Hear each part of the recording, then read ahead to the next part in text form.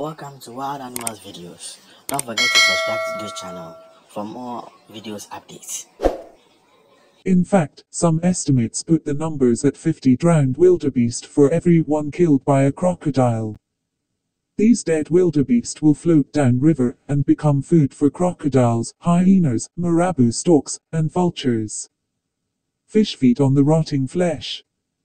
Therefore, crocodiles are predators and hippos are effectively prey so how come they lie next to each other, in peace around a water hole? The reality is that given half a chance, a crocodile would attack and feed on a hippo, but they do not because of just how dangerous a hippo can be. Slowly the crocodile began to drag the wildebeest under water.